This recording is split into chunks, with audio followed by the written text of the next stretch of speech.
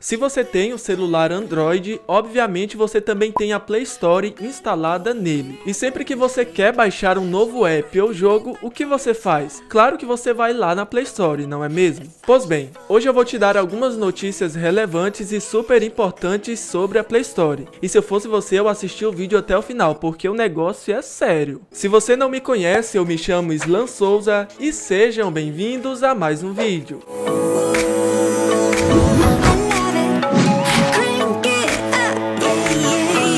Antes de continuar, já se inscreve no canal, ative as notificações e também já deixa o seu like no vídeo, beleza? Eu tenho duas notícias sobre a Play Store para te dar. Uma notícia é ótima, ela é muito boa, e a outra não é tão legal assim. Eu vou começar te falando a notícia boa e em seguida eu te falo sobre o Coringa vírus que mais uma vez voltou a atacar. Assiste o vídeo até o final, porque se você tiver algum dos apps que eu vou mostrar instalado no seu celular, você deve desinstalar imediatamente então vamos lá. A notícia boa é que o Google está trabalhando em uma nova interface para a Play Store que vai remodelar o visual da parte Meus Apps e Jogos. Mas a grande novidade mesmo é que agora a Play Store vai permitir o compartilhamento de aplicativos e jogos mesmo que você esteja sem internet. Mesmo que você não esteja conectado, você poderá entrar lá na parte de Meus Apps e Jogos e ao clicar sobre algum aplicativo vai aparecer três opções. A primeira é a atualização,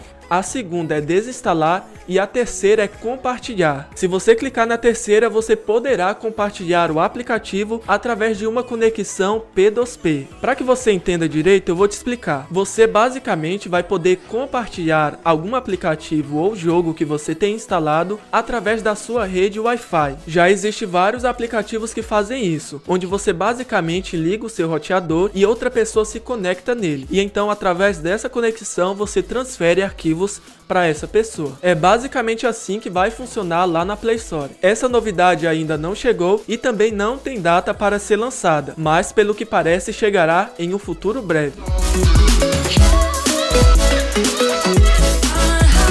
Agora, infelizmente, vem a notícia que não é tão legal. O Google removeu mais 17 aplicativos lá da Play Store que foram encontrados infectados com o Coringa vírus. Olha só, pessoal, não vão confundir com coronavírus. É Coringa vírus, beleza? Coringa vírus.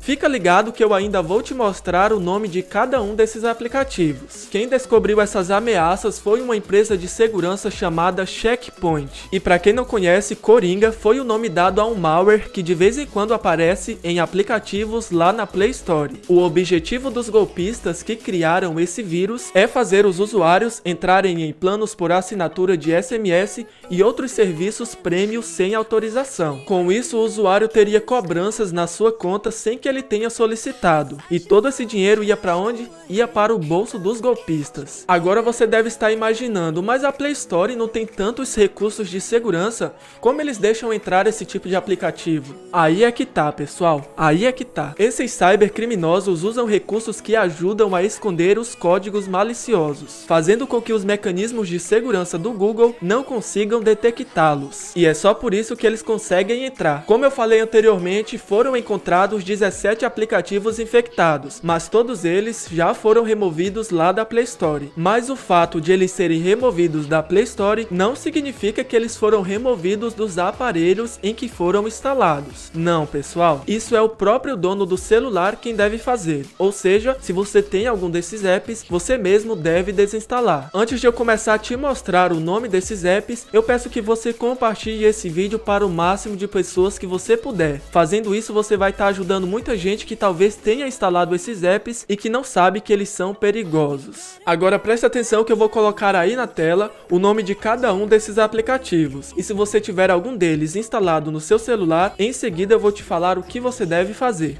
Se